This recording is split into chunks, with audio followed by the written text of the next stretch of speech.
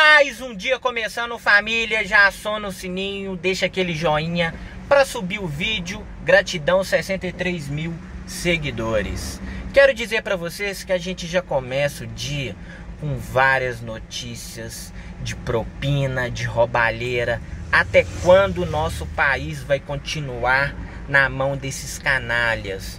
Paulinho da Força está sendo aí, né?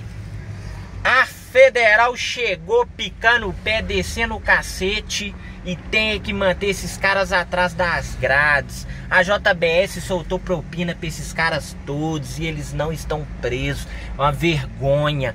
Tô aqui na correria do meu dia a dia fazendo as minhas entregas. Quero dizer que Belo Horizonte tá um caos, tá tudo feio. Aí para você ver, vigilância sanitária, todo dia eu fico meia hora parado nesse trânsito.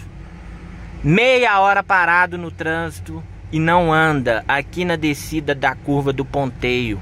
Belo Horizonte, galera, já está aí batendo recorde de comércios fechados.